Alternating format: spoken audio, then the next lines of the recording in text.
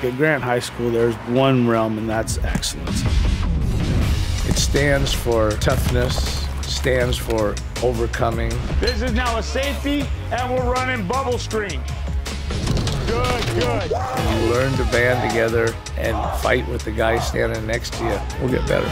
Nothing is given, everything is earned. You have to work hard for everything you want to go far in the season to win championships.